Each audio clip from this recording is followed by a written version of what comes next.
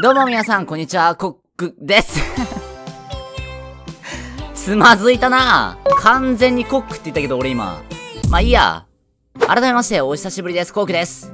今回はいつまでやるんだこのシリーズでおなじみ、看板張り紙シリーズ第11弾をやっていきたいと思います。もういい加減このシリーズいいかなって思ってるんですけど、リスナーさんたちが永遠にネタを送ってくるんで、やります。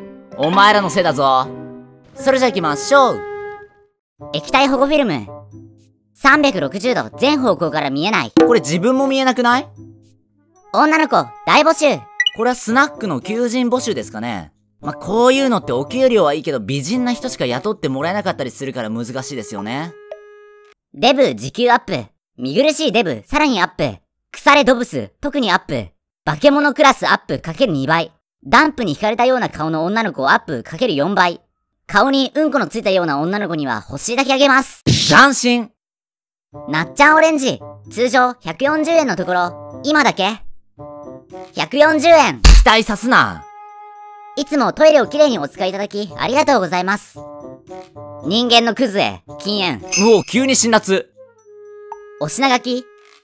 ラメー、塩ラメー、味噌、ラメー。あえぐなもう、録音するとき死ぬほど恥ずかしかった。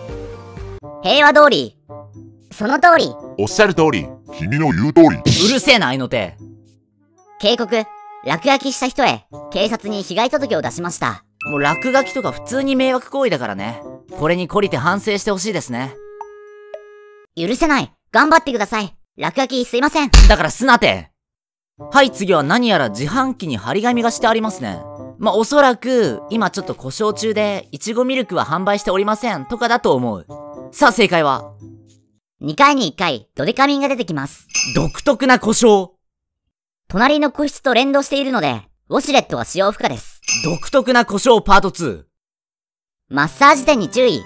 最初に3000円でエッチすると言って、次に5000円出さないとエッチしないよと言って、本当は1万円出さないとエッチしないよと言って、合計1万8000円出したのにエッチできなかった。知らんがな。